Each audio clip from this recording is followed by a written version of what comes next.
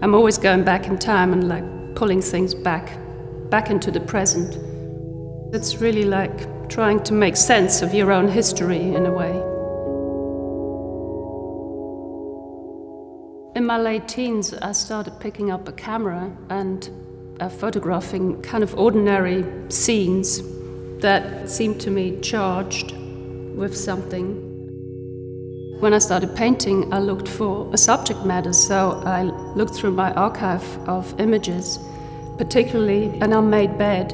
I remember that it was the end of a relationship, and so it, it seemed to me very powerful, even though it was an ordinary scene. So I took that into my painting practice and started building on images that kind of sparked a memory or took me back in time. I was always drawn to abstracting things, and because Polaroid's abstract reality, you're trying to visualize things that you can't grasp in any other way.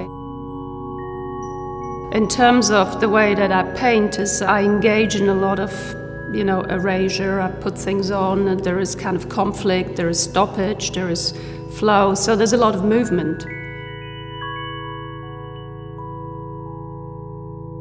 The paintings in the show, A Dream Of, are all based on memories of dreams. The, the interest in dreams is related to my interest in the bed. And sleep in particular I find fascinating because um, we spend so much time sleeping.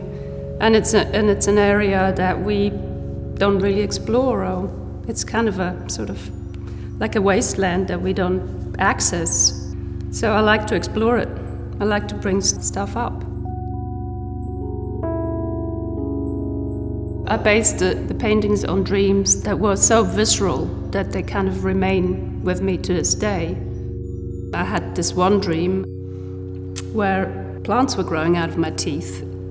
I, I still kind of have it in front of me till this day. I try and encapsulate the feeling of a dream, the sense of a dream. I had my best dreams probably when I was the most disturbed as a person, which was in my teens. Growing up in Switzerland, I was born to um, a family of immigrants. Both my parents came from Hungary in 56. They fled the political troubles.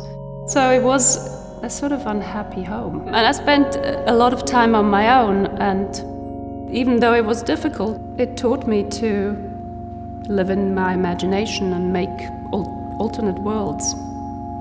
It's, it's wonderful. It saves our lives. Oh, Art, I think, saved my life.